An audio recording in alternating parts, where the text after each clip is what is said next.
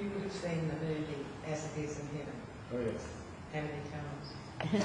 Oh, I can't count, but I know I've, I've talked with uh, the, the director invited me, the filmmaker invited Kay Pollak, to have lunch with him. And so um, I went with him because I, I know he's quite a famous uh, director and he's done many, many films, but then he had a long stretch in his life, uh, quite a number of years where he did not make a film. And uh, then this Holy Spirit just started really stirring in him, and uh, and he really poured his heart and soul. In fact, it's like it's been like a rebirth. Uh, he he really got in touch with that was his purpose now on earth was was to really make movies that were totally inspired by the Spirit. And so he told me about uh, how he met his wife at a discotheque, and he was guided there for the last five minutes uh, when it was closing, and he kept thinking, I'm not going to, why would I go to a discotheque for the final five minutes? And the prompt was so strong. He went there, he met his wife, and actually, as it is in heaven, just like the Course in Miracles was a collaboration.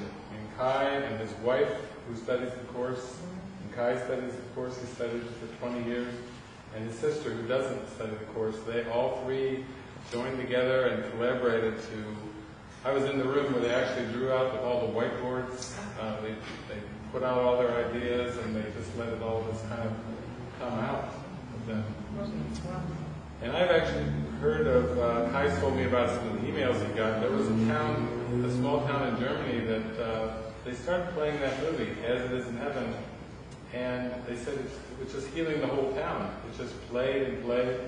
They had so many healings around that movie that they decided to invite uh, Kay and his wife and the actors and actresses to, they were going to fly them all to this town just out of gratitude for all the healings that occurred just from that one movie. Just, Well, they showed in uh, Sydney at the Corn and uh, Roseville theatres. It's been showing for 18 months, Full House. yeah, They wrote it up in the Herald Tribune last month. The most extraordinary thing. yes, It's not, not been heard of since, you know. yes. But uh, Full House. For 18 Yes, months. it's beautiful. Kay, Kay was telling me too that in Sweden, that he would get reports from different theaters, movie houses, of strange, thing, strange things. Like at the end of the movie, there would be this deep silence, and then applause would just break out. And the movie theater owners were like, "What's happening?" You know, a deep silence, and then almost like a reverent silence, and then applause, sometimes standing ovations like you might see in live theater or whatever, this is for a movie.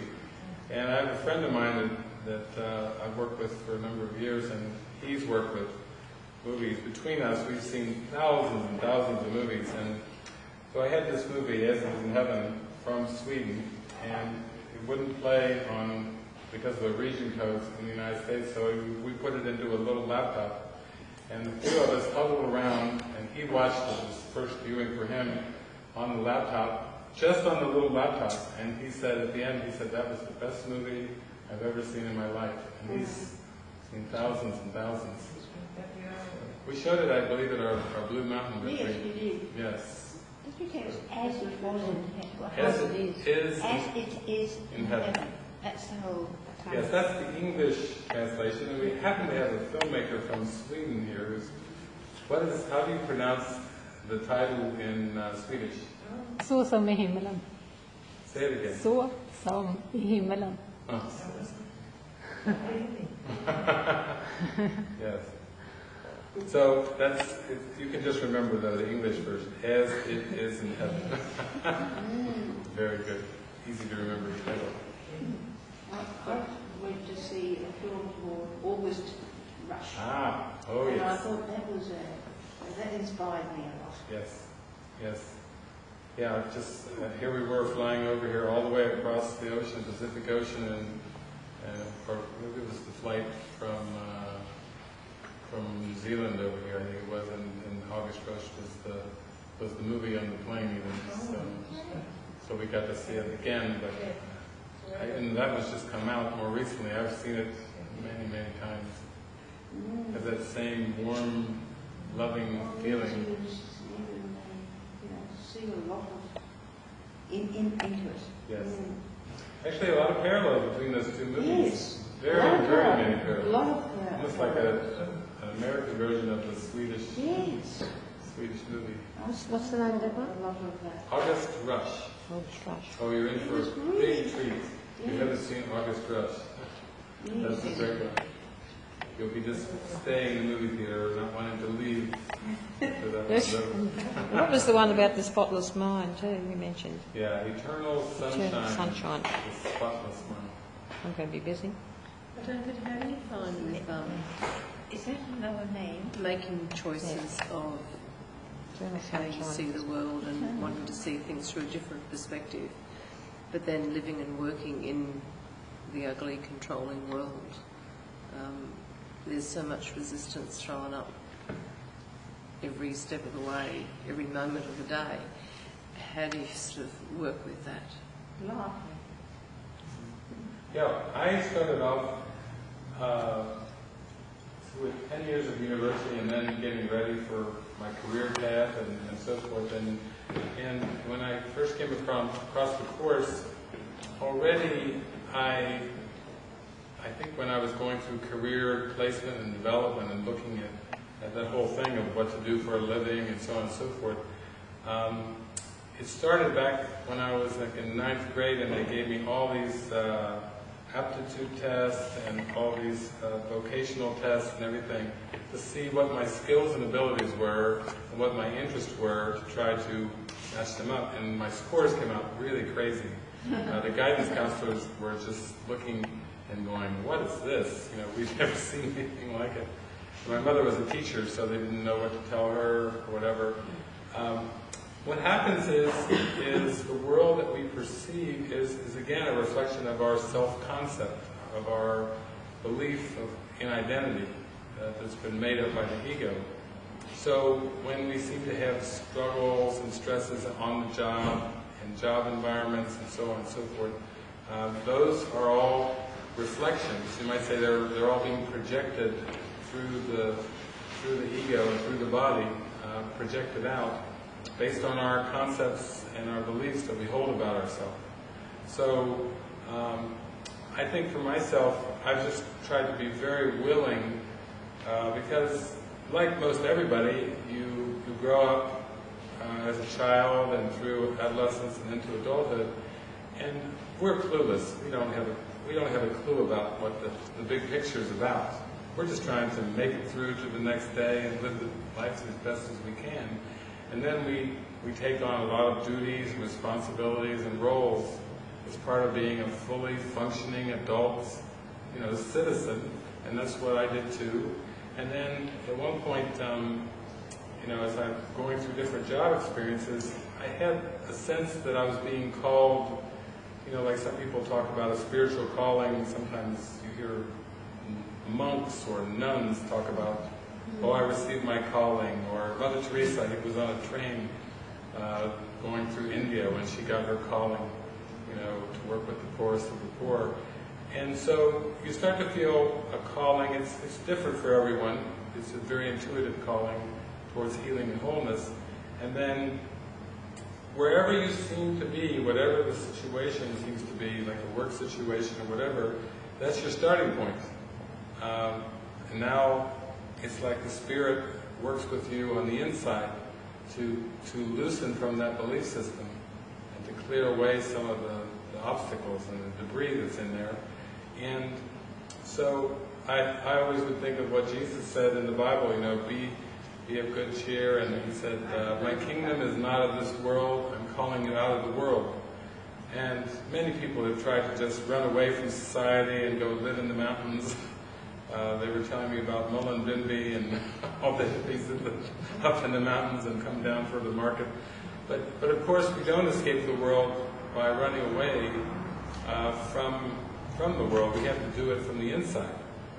So I felt the same stresses. I mean, I, I had a number of different jobs, and, and whether it's stresses from from clients or patients or customers or managers, bosses, or the stresses of being a manager and having people under you that do not uh, follow the rules and so forth. I mean, those are, that's just the way that the ego plays out in this world when we have a false identity. When we have an imposter identity, we get a lot of imposter experiences that are not very happy at all. They seem very constricting. So I remember having this talk with Jesus one time and, and saying, you know, this job situation's bothering me, this one's bothering me, and, and then I would talk further, I would say, and furthermore, society. I know these people in my environment are bothering me, but society in general is bothering me. I mean, I don't like society, and what I would hear back was, uh, you think, you believe you're in the society, but the society is in you. Uh, or you believe you're in the work environment, but the work environment is in you. That was very helpful for me because it started to turn the tables a little bit and give me a little bit of a sense of empowerment that I wasn't in the environment, but the environment was in me, in my belief system.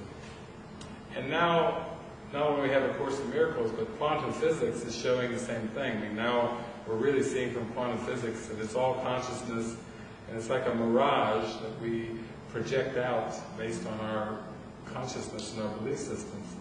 So progressively, you know, the Holy Spirit is not going to like rip the tablecloth off the table uh, while the while the silverware and the china and everything's there, so everything goes flying. It would be, horrifying, you know, to have our perceptual world ripped away from us. So what happens is, I seem to just become more intuitive and more intuitive, and and I would tune into the Holy Spirit, and the Holy Spirit would say, okay, this is what you're going to be doing. And, and initially I was guided to get to interview for this job. It was a very difficult job. I would have never it as David. Uh, was working with people that were blind and deaf and schizophrenia and like psychosis and and and it was like a very intense job that was for undoing pride and for helping me get more into prayer, true prayer, letting go of all this 10 years of university that I had, all this past learning, and learning how to pray for the first time to receive guidance. So it was very intense, and I would have described myself at the time as a very intense work situation. Things were coming at me left and right every day, and, and I would even, I'd be happy to go to the restroom just to have two minutes, because it seemed like such high stress. But actually it was, I could see from a spiritual perspective, it was really designed to start to help me undo the ego. It wasn't uh, anything I would have chosen as David, but it was very, very helpful from the Spirit. And then progressively I was given a series of, of jobs uh, where I could see that that I really was open to loosening from my ideas about having a career, but but paying off debts, you know, the Spirit, you never really abdicate on anything. You have to, even if the ego set up the mortgages and set up the debts, the Holy Spirit's like, we can work with that. Uh, we'll, we'll do your mind training and undo the ego and handle the debts and the obligations and the duties. So that's really what happened for me. It was very intense, but I was guided to a series of, of jobs. And the last job that I seemed to have, it got lighter and lighter to the point where I was teaching psychology at an art institute. And I had four-hour classes, and I could show full-length movies, and nobody checked up on me. And I had a syllabus with all meaning of life topics. And basically, I taught A Course in Miracles without using the word God, Jesus, uh, Holy Spirit, just using psychological terms. And it was very helpful for me because I was so shy as a child and in high school and college that I was voted most quiet in my senior class. So for me to be standing up in front of mainly teenagers, like 17, 18, 19 years old, for four hours at a time, with no lesson plan. The Holy Spirit wouldn't let me have lesson plan, and I was terrified that I would just freeze because you're not. I wasn't even used to talking. Uh, so it was all designed to undo the ego and to help me uh, be in tune, let the Holy Spirit do it through me. So progressively, that was with the job. I was told then that's the last job you'll have in the world, and, and you're mine now, and you will be used in ways that you can't even fathom or understand. So don't even try to worry about it. And then things got very spontaneous, and I've, I've done thousands and thousands of these kind of gatherings, and and definitely people would say I still had opportunities in countries like Colombia, where there's still a lot of fighting and guns and Venezuela and different places.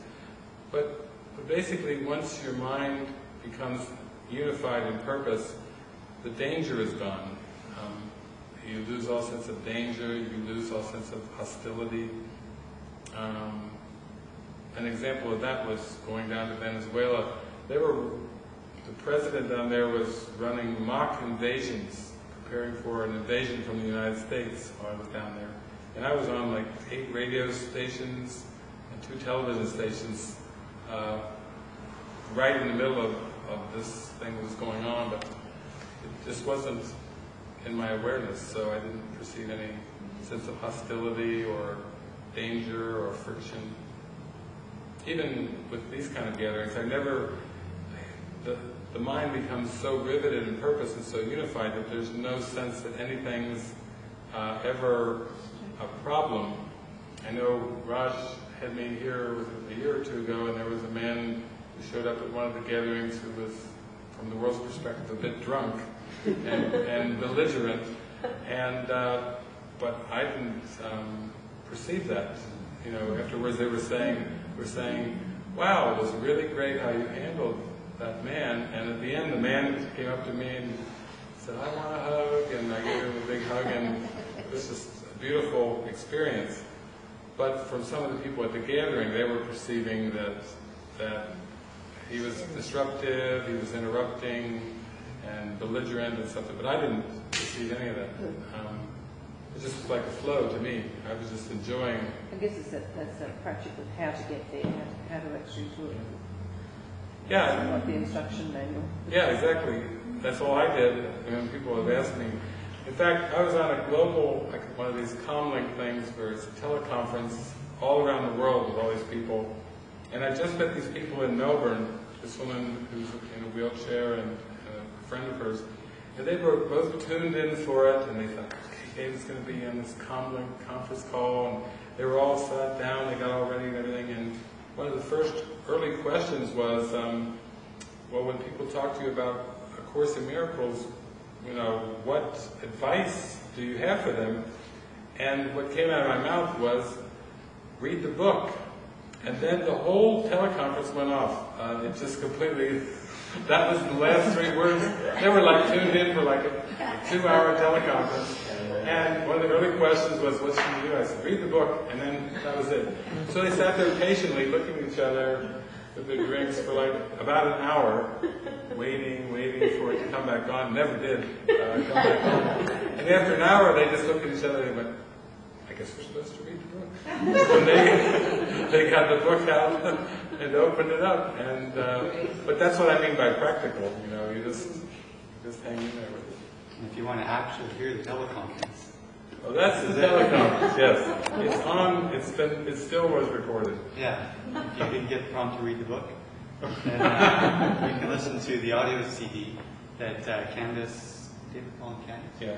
David Paul and Candace did. They set up a conference call with like 200 questions and narrowed it down to top 30 questions or whatever and set it up for David and they answered it. And there's the audio CD in here, as well as a DVD um, and a music of Christ. So like lady named Resta, you see music from the angels and it's all in here. So as you go about your day, you can listen to this. And these, everything we have is a suggested donation.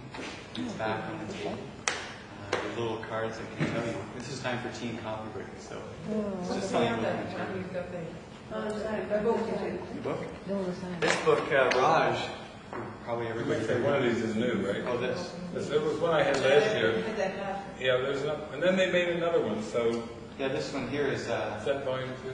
part two, Atonement Talks. Show it to the video. one. That's new. Yes, it's all new. They made another one. David was invited to uh, the Course in Miracles conference in San Francisco last year, and he gave two talks. And one's a transfer training talk, which is like stories about how to use it, how to train your mind, how to get um, clear on ideas regarding healing, you know, the body versus the mind, practical stories that really help get clear.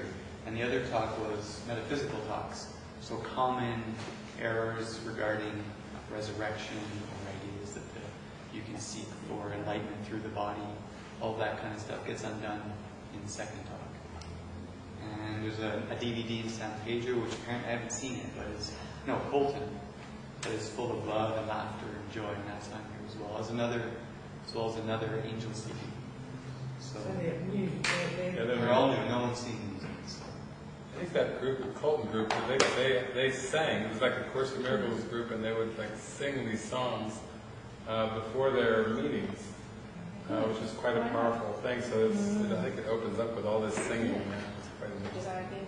It's called Joy and Clarity Colton. That was another big song with the sun. Yeah. The night. Was that Is off that here? on one of those? That's Bliss. If you want, you have to buy that one online. Bliss on. Bliss. We have another one. I'll play it right now called uh, Mitch and Friends, you know. Oh, yeah. Come to the table. yeah. I'll play that one if you like that. That's number three on. On Bliss. And no control over the world. The other night I had some stuff coming up regarding I could I believe I could change something. So I put on no control over the world to get back to uh, state of peace. The Serenity Prayer, uh, some people have said, well, the, the Course is so big and thick, why is it so big? I said, it's just the Serenity Prayer clarified. Uh, For those that had the trouble of what they can change, what they can't change, and the wisdom, the difference. They're kind of really simplified. And there's lots more DVDs and audio CDs back there as well that you can pick through different titles. And this is a new book called Glimpse of Grace, which is That was nice. We had that there. yeah, this last year. We're going to New for me. Okay. It's very good. Yeah, it's just a collection of writings and Wonderful. there we go. Read it a lot. And there's these magazines that Raj Yeah. uh, made. They actually cost nine dollars just to produce. So he's asked for five dollars as a suggested donation for these. And they got articles David, myself, Kirsten, and Gary Renard, uh, based on divine providence. So learning to live with following the Holy Spirit's guidance and not having to make decisions by yourself. So, and there's tea and coffee and cake and cookies. Please feel free to walk inside the door and get whatever you like. Thank you. Thank you. My understanding from your is that for you, the voice of the Holy Spirit is the same as the voice of Jesus. Um, and I want to clarify that because I know some people who talk to Holy Spirit over here and they talk to Jesus over here. So I want some clarity on that. And then I'd also like clarity on angels, where they fit in, and Christ Council and Ascended Masters and, yeah. Yeah. Perspective, yeah. You might say that, that uh, when the separation seemed to occur, that the answer was given simultaneously. So, so it's like time lasted but an instant. I mean, it was like, that's how long it took the Holy Spirit to heal the dream of separation is one instant. And it was simultaneous, so that's why that you could say the atonement principle, uh, atonement is correction, and in heaven there's no need for correction, because there's no problem. But with the belief in separation, atonement was given as the answer. So the principle was given almost like, uh, how would you give an answer for a belief, a belief in craziness and nothingness, a tiny mad idea? But you, it, it, atonement is like a concept that was was given to cancel out the error. And so the atonement principle is where the Holy Spirit seems to begin, in the sense that um, before there was a separation or a seeming separation, there was no need for a Holy Spirit. There was no need to a bridge to get back to heaven because there was no sense of separation. So this continued on, time and space continued on in many different seeming realms, Earth just being one little aspect of the cosmos, which is enormous, Big Bang, kind of a vast cosmos. And then um, on this planet, we seem to have an extraordinary occurrence 2,000 years ago, which would be, you could call it the manifestation of the Holy Spirit, in the sense that that voice, that principle was, was there all along throughout time and space. In the days of the prophets, long before Jesus, you know, calling out in the wilderness, you know, Isaiah, and, and going back to the prophets of old, that spirit was still there. Or John the Baptist, you know, seemingly the coming even before Jesus, the spirit was there. But the full manifestation of the Holy Spirit would be uh, a channel or a vehicle in which there was no tint of, of ego, just a pure, pure expression of the Holy Spirit in form. And that's what Jeshua was. So that's why, you know, when we read things in the Bible, you know, I am the way, the truth, and the life. No one comes to the Father but through me. That was the universal Spirit speaking. It really was speaking through a man, but the universal spirit is neither male nor female. It's just it's the call to return to a state of absolute oneness and perfection.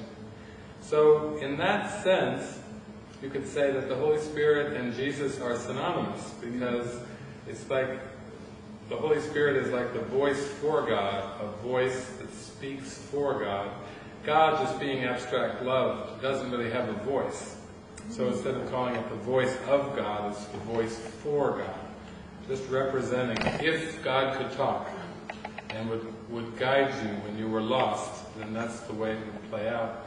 And then Jesus was, was a man who, he seemed to enter earth like everyone does. Uh, there was lots of stories about the virgin birth and so on and so forth. Very much like in Buddhism and a lot of traditions, there's a lot of things that get added on to make the the, the prophet or the teacher more deified. And the virgin birth certainly would be like, well, you came from a different way than the rest of us. It really wouldn't make him a very good teaching model, though.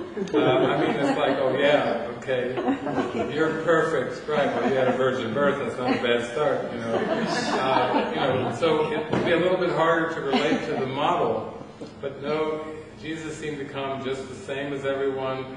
He grew up like children do. He had to go through the same temptations and adolescence and all the same struggles that all of us had to go through, but just felt there was a sense of destiny in there, uh, which was to demonstrate the will of, of God, the divine will, and actually kept opening up step by step and then actually reaching a state of transcendence where where he could say, the Holy Spirit could say, through the body of Jesus, I and the Father are one. It was a state of perfect unification with no ego. And so he said things like, be of good cheer, Satan is underfoot. Hmm, yeah, underfoot. It's like having a snake that is under your foot so it can't do any damage. Um, so in that sense, you might say that even nowadays when people talk to Jesus or the Holy Spirit, it's the same presence. Um, some might say, well, Jesus is more of a personification of the Holy Spirit, but you know, Jesus doesn't have a body and the Holy Spirit doesn't have a body, and so uh, it's hard to say personification anymore. You know, and even says in the course, Jesus says um, the man was an illusion, or it says in there the man was an illusion because he had seemed to have a separate self uh, that was walking apart from other selves. And that's, that is an illusion because the spirit is completely unified. So that's the first part of your question in the sense that I would say whatever you're most comfortable. Some people have told me that they, they really like to talk to and listen to and pray to the Holy Spirit um, because they have these associations in their mind around Jesus. Uh, and those are just forgiveness opportunities because all those associations really don't have any merit uh, or any kind of reality or value. And having been raised Christian myself, you know, that was very much of a letting go and releasing all my ideas about Jeshua and just saying, okay, thank you for speaking to me. I hear your voice. Thank you for guiding me, for leading me, for showing me the way step by step. And then the more you get into that presence, you know, you you start to feel like, wow, that's what the whole second coming of Christ is, is is me recognizing that I am the Christ, not looking for a man to come come walking on the clouds or, you know, come down in, in power and glory, but just starting to experience yourself as the living Christ, that's the whole the point of the teachings. You know, I am still as God created me. You know, I am the Holy Son of God Himself, or however, whatever words come. Now, in terms of angels, that came up recently where somebody was asking me about the angels, and somebody had once said, you, you were created above the angels, which sounds quite high, but who we are, the Christ, is literally, you might say, above the angels in the sense that, Christ is the creation of God, and and Christ and, and God are one and share the same divine mind and it's totally unified. Whereas angels are like helpers. Uh, angels, just like Jesus was the manifestation of the Holy Spirit, angels are like symbols that the Holy Spirit uses while the mind still believes in symbols.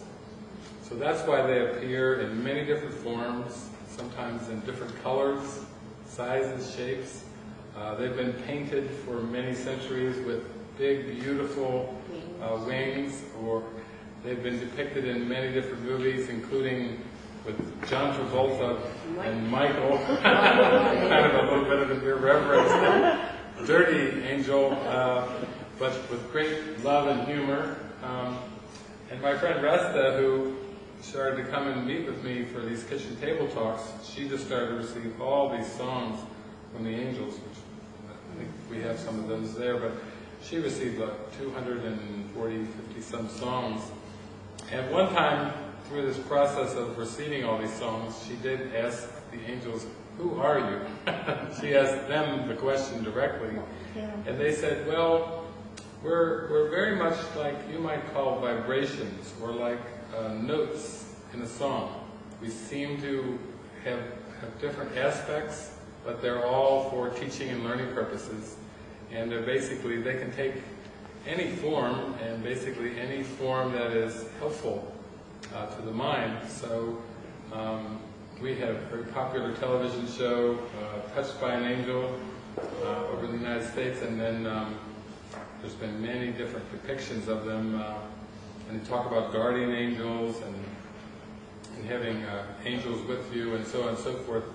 Many stories of children seeing angels. Um, uh, Jenny, who's been doing the filming, she had some doubts about coming over. She had two angels appear. It was like her parents appeared in their uh, realized state of who they really were, that appeared to her to comfort her and let her know that what she was doing was wonderful and she was blessed to keep going and so forth.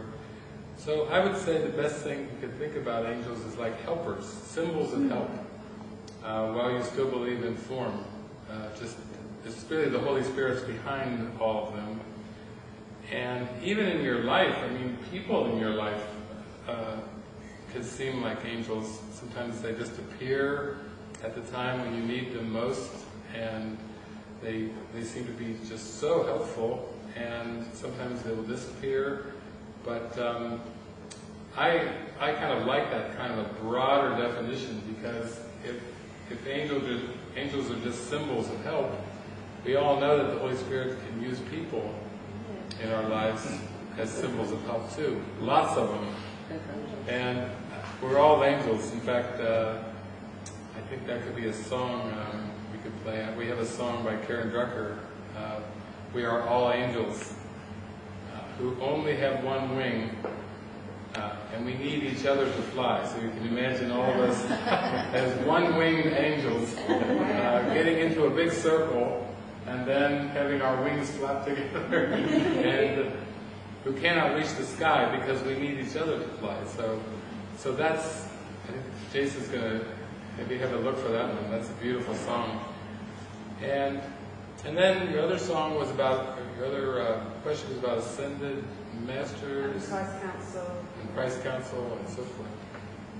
Yeah, over the years, there's been like the Sada Brotherhood, Christ Council, um, different ascended masters. Um, there's really only one mind, and so you might say that for those that have seemed to transcend this world, we could say that they could be called an ascended master.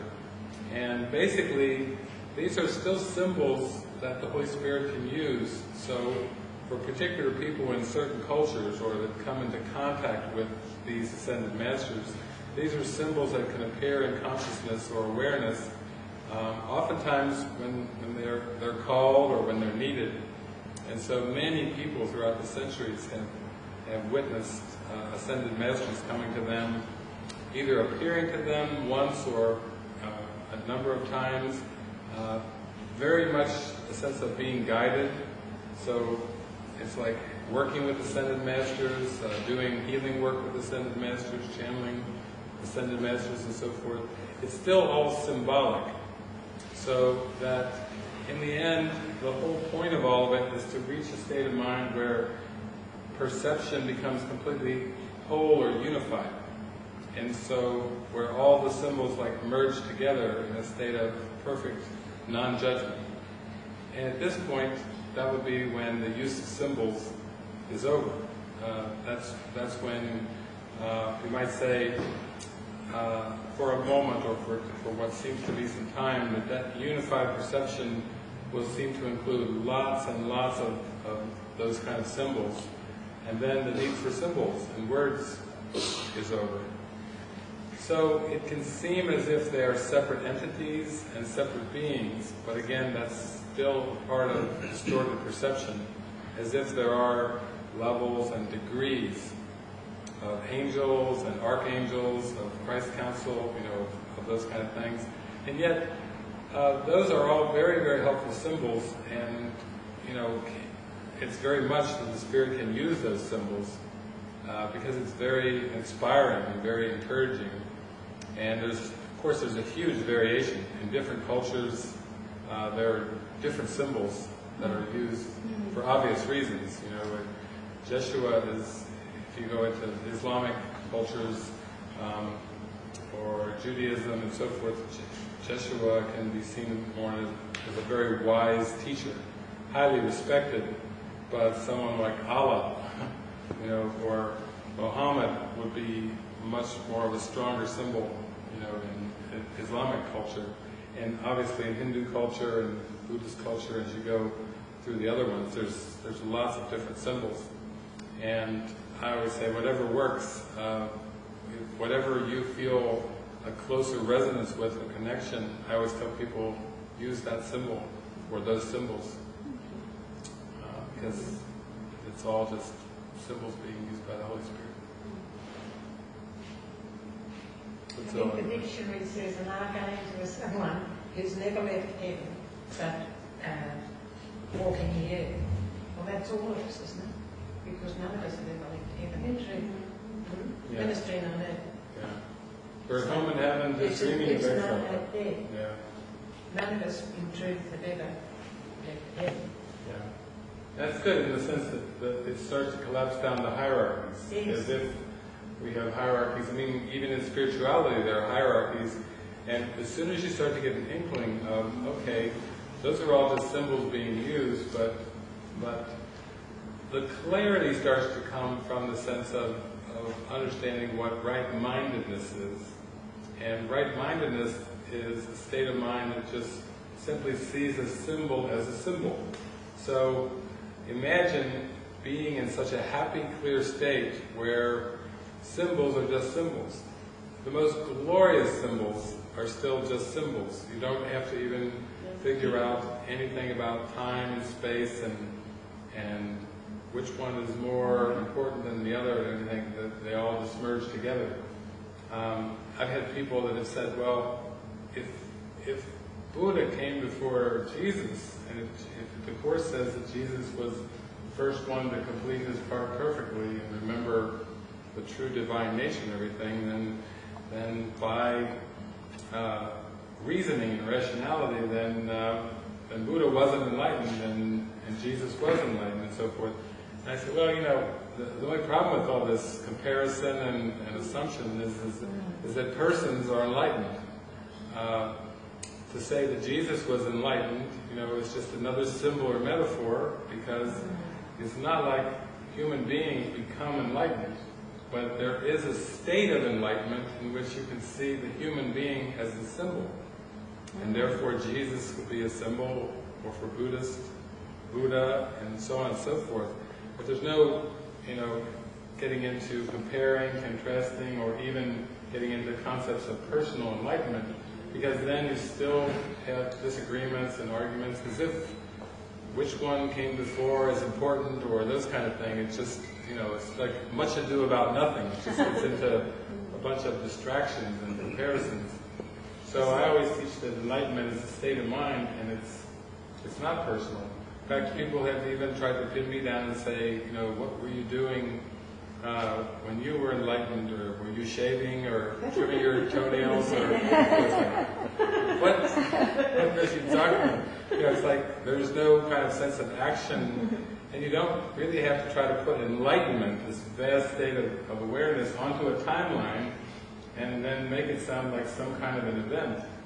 I mean, even with the story of Jesus, you might say, just for instructional purposes, that that before he began his ministry, his three years of public ministry, that he had seemed to reach that state, uh, so that he was just in the state of, of oneness with God, and that's why during those three years of public ministry we had statements like, before Abraham was, I am, you know, I and the Father are one. That doesn't sound very much like a person, uh, before Abraham was, I am, and they were ready to stone him for that. like a young whippersnapper, walking around with your long hair. And do you know how long the tradition of Abraham goes back? Before Abraham was, I am. Oh, hit the rocks. You know? But but a lot of Judaism, like all religions of the world, are based on beliefs and traditions. And the I am presence is really not interested in traditions. It's just a vibrant presence that literally transcends all the symbols, and all the symbols can just point to it. You know, and that's like the story of Moses, you know, in the burning bush and, and God speaking and saying, I am that I am. Well, it's pretty clear. the Holy Spirit's going to speak, that's, that's kind of the sound that you get, this kind of majestic sound. So, hope that kind of gives you a little bit of... Uh, Isn't time a linear construct anyway that Yeah. doesn't really exist? yeah, time's just a linear construct. So the concept of parallel universes that science fiction is, is quite plausible and quite obviously could Yeah, happen. yeah, you can think of parallel universes as kind of an idea of, of like, that everything is really simultaneous and some different channel material, like Seth material was talking about simultaneity and so forth. So that, there's a lot of... uh, So there is nobody born before anybody else or anything, because it all Exactly. happened at the same time. It kind of collapses the whole Buddha, Jesus thing, you know. when love quantum physics. Yeah. It, that, it's like uh, to be born again, of course, is to be born again of the Spirit. That's what Jesus talked about But Nicodemus. You know, when Nicodemus was asking him, you know, must I come again into a woman's womb and everything? And Jesus, you know, said, that which is born of the flesh is flesh, and that which is born of the Spirit is spirit.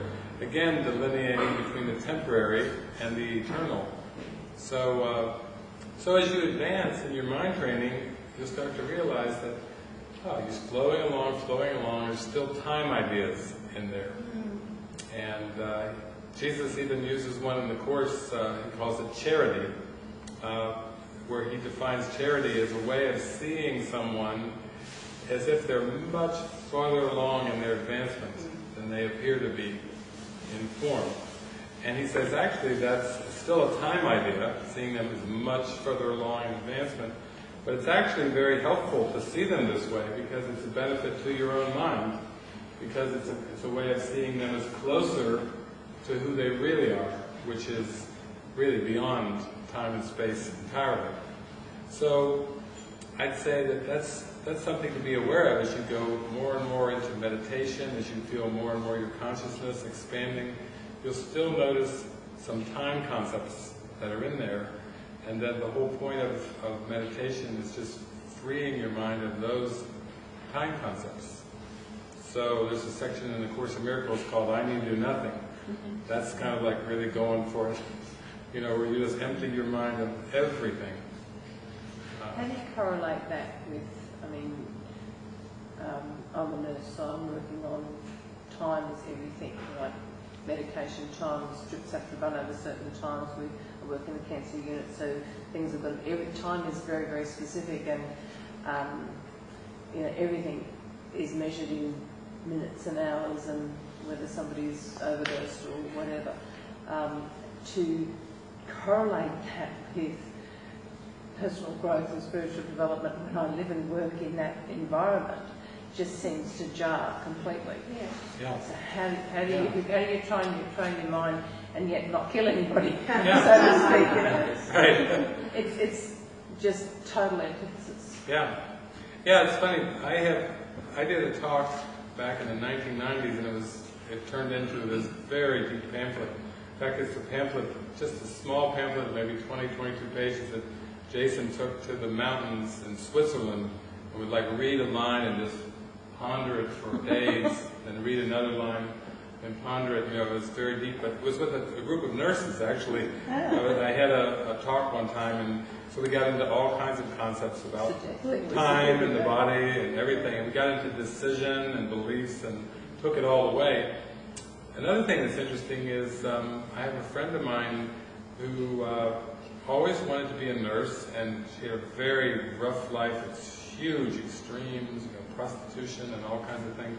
Eventually worked her way over, got into nursing school, worked her way through nursing school, and became a nurse.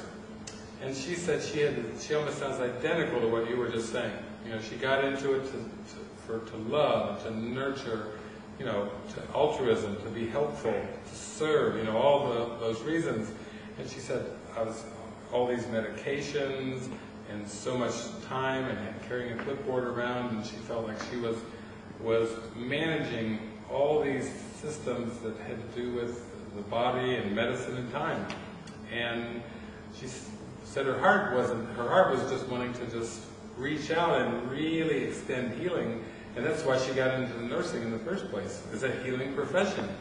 But when she got into it, she found herself wrapped up in, in almost like being a robot, uh, serving the system of the hospitals and the doctors. In the research that I'm doing, that's theoretically the source of mo- the most stress in nurses is that lack of um, congruence, where on, on one side it's the nurturing and the healing and the, the whole mind-body spiritual side, and the other side is this biotechnological world that just completely jars, and trying to walk that line between the two is a source of massive internal conflict. And Yes. that, that's the biggest source. I mean, I've been nursing for 32 years, and the, the biggest source of complete distress and conflict in, is an internal one, and it's nothing to do whether you know, Queensland Health is useless or. I mean, I've worked out here at the PA, and the hospital has no heart, quite honestly, but within our unit, it, it, it is there's a lot of stress, especially in the young staff that haven't yet uh, found a way to try and find a gap. But I'm finding it increasingly difficult to to manage the, the physical world that everyone else thinks is real. Um, and certainly patients who are newly diagnosed with a, a terminal disease think it's very real, and to them it is. Um, and there's no point trying to talk to them saying, well, your cancer diagnosis is all an illusion, you know, you're likely to get shot. But, and it's very heartless to sort of say that sort of thing. So trying to walk this line between what is truly um, helpful um, and this Oh, yeah. highly technical world, because I'm an advanced practitioner, so all of that sort of stuff.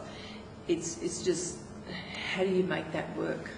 How do you Yeah, make- I've got a, I'll, I'll continue on with the story, my friend, because it, it turns into the most, you'll find this the most glorious parable you ever heard, and this is based on what actually happened. Um, you know, Jesus would say there was a man who had two sons. Well, to continue my story with my friend, she got from waitressing and food stamps and prostitution and all kinds of things. She got into nursing. She got found herself where you're talking about, like you've been in for 32 years. And then she, I mean, I think at one point in there too, she was suicidal, uh, didn't have a strong, feel a strong connection with God, uh, felt very, very dark and suicidal. She had a, an angelic experience when she was just ready to commit suicide. Said, if you're there, uh, you better come in quick. God, kind of put God on the spot uh, because I'm ready to kill myself, and and had this beam of light that just engulfed her and called her name over and over and kept saying to her, "Truly believe, truly fly." You know, Lisa was her name. Truly believe, and she said it was just like she was in a like a tractor beam of light. It was just so blazing that she went out and told her her two children, "There's a there is a God." After the experience. But then, practically speaking, she went through the nursing experience. She actually was working with her nursing job and she started studying A Course in Miracles. Mm. And so here she was practicing this very metaphysical system, you know, at work, at home, everywhere. Before the, the big light experience, she couldn't even read the book. It was like gibberish to her. After this big light experience with the angels, you know, she could, she said, I could suddenly understand the words. She read it, she read it, she read it. She noticed that the focus in the course was on healing of the mind. Mm-hmm. And it was a huge contrast with her nursing experience. And so she had a number of experiences where, she told me one of them where she'd go around with the pills and doing her nursing thing, and there was a man there, an elderly man on this, this nursing home area where she was working, who every time she would go by, he was always trying to grab her rear end or feel her breast, and uh, his name was Lester, so she called him Lester the Molester as a nickname. Because he, was, he said, oh my God, I can't walk by without Lester trying to cup a feel, and she was just like, and so this went on, and she kept doing her job and everything, and, and then Lester's health seemed to go down and down at some point, and he was kind of on his, his deathbed uh, to the point where he was totally incapacitated, he couldn't speak, he could hardly move, he's laying there in bed, and she's of course doing her rounds with her meds and doing her thing, taking her medication and Lester. And one night she's she's been reading her course, doing her lessons, just letting your mind open up as much as she can with this nursing nursing profession. She walks in there and Lester's dying, and he's in there, and she walks over to him to give him his meds and check his charts and everything. And she said, with all his strength, she saw his hands going like this, and she's like, oh my God, Lester, even on your deathbed.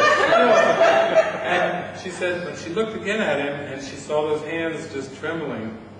And suddenly, it's just like the Holy Spirit just clicked in her mind, and she saw him differently than she'd ever seen him before in that one instant, because she's practicing her, her course lessons, you know, help me see this differently, above all else, you know.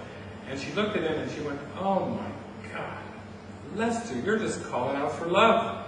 It was like underneath this behavior, she saw the call for love with these hands. He couldn't even speak. And so she was like, she felt this huge love, like an explosion of love inside her.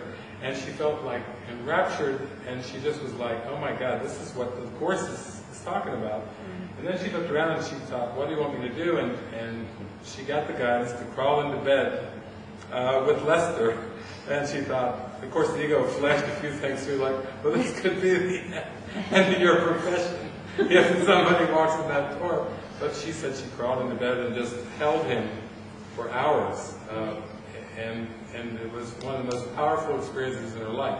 So you can see clearly it was the nursing, nursing profession. She was like carrying it out as far as she could. And then this, these kind of things started happening. She had a bunch of those stories. Well, then she hadn't talked to her, her father for many, many years. She, she was going around making rounds, and she was supposed to be hired, and all these nurses got pulled out of this uh, company. I don't know if it was a hospital or some kind of care facility, and they were really desperate to have a nurse because they lost, they were at a, a very difficult time.